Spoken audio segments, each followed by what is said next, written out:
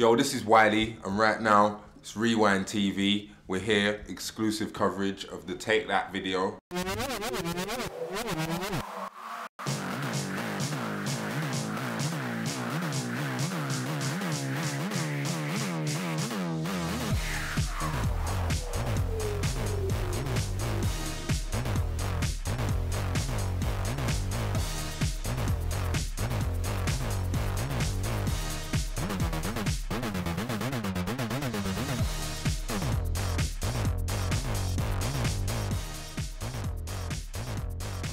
The mad sounds and mad noises that we've got going on. We're emphasizing them like like visually, and uh, like the girls they're doing their stuff like some slow mo stuff and mad stuff. So that when you speed it up, it goes like and just mad stuff. So that's gonna look good visually.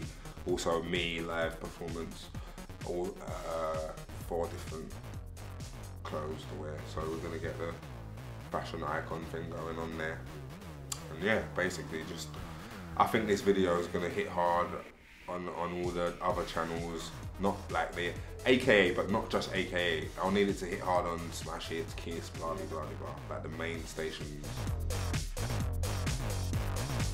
I feel like trying to do something I haven't done before.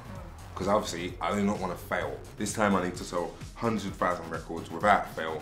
I'm not even, I don't want to go out and say, everyone, I am gonna do, I'm not gonna do anything, I'm just gonna do the work so that it generates the sales. That's what time is for me. But I'm ready at 30, maybe 31 it'll kick in probably to, maybe I'll be Russell Simmons by 37.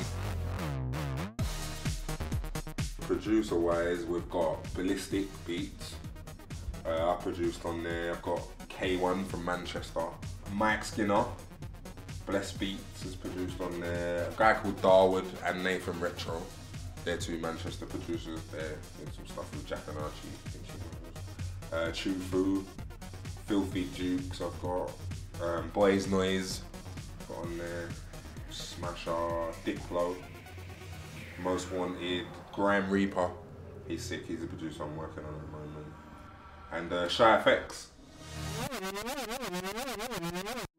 Especially people like Lethal B because they're like my old, not sparring partners, but they're like we was we came up together sort of thing.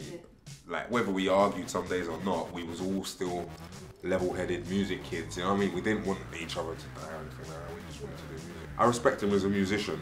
You know why? Because he's still here.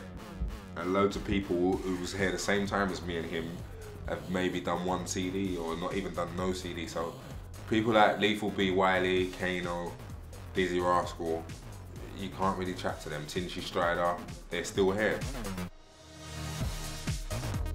I can feel what Cage is doing.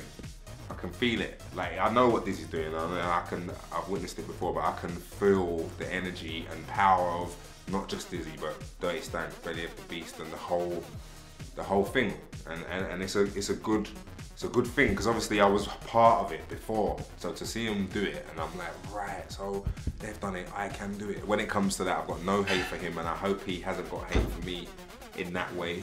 But um, I'm a big man now, man. I've got children, bro, and he's a, he, he, he's a big man from where he was, and yeah, we're we're we're past anything of that stuff. So one day I hope he just hollers, man, because the studio session will be fire. Could do grime tune, it'll go. There'll be no limits to what me and him could actually do.